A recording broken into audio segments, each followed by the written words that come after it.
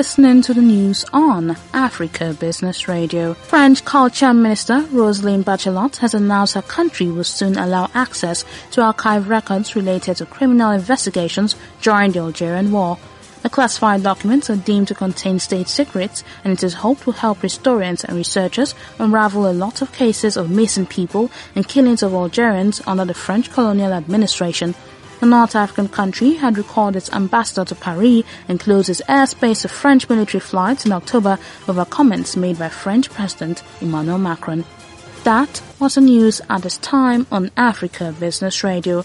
You can continue to listen live online at www.africabusinessradio.com or via a mobile app.